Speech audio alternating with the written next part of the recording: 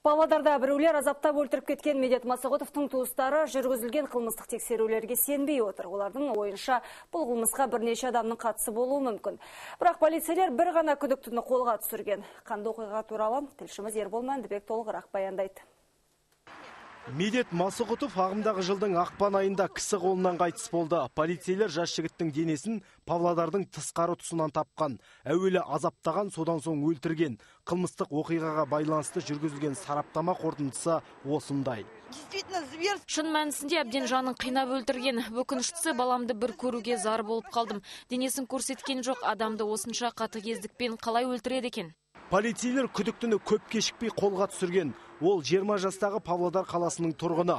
Алайда марқұмның туған туыстары бұл қылмыстық іске бір емес, бірнеше адамның қатысы болуы мүмкін деп отыр. У нас достоверный свет. Осы адам өліміне 10 адамның қатысы бар екеніне сенімдіміз, тіпті куәгерлерге дейін бар.